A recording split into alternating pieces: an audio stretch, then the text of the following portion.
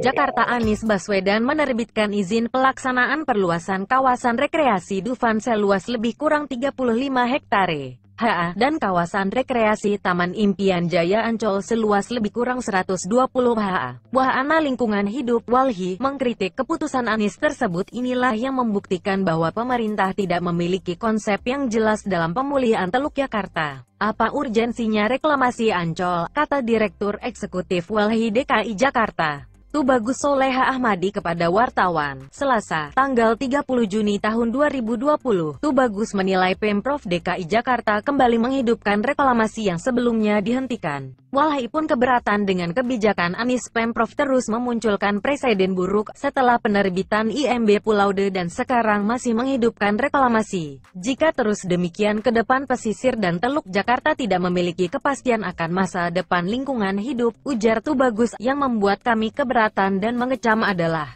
konsep pemulihan tidak ada malah membuat kebijakan tersebut imbuhnya sebelumnya. Anies Baswedan menerbitkan izin pelaksanaan perluasan kawasan rekreasi Dufan seluas lebih kurang 35 hektare HA, dan kawasan rekreasi Taman Impian Jaya Ancol seluas lebih kurang 120 HA. Dia janji memberi penjelasan soal hal itu, nanti dijelasin yang lengkap sekalian, kata Anies saat ditanya wartawan di Balai Kota DKI Jakarta. Selasa, 30 per 6, seperti diketahui, izin itu diterbitkan Anies lewat keputusan Gubernur Kepgub nomor 237 tahun 2020.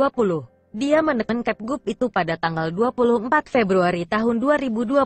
Dalam Kepgub itu, disebutkan bahwa daratan seluas lebih kurang 20 ha yang sudah terbentuk berdasarkan perjanjian antara Pemprov DKI dengan PT Pembangunan Jaya Ancol, PJA pada tanggal 13 April tahun 2009 merupakan bagian dari rencana perluasan Ancol Timur seluas lebih kurang 120 ha terhadap perluasan lahan kawasan rekreasi Taman Impian Ancol Timur sebagaimana dimaksud pada DIK.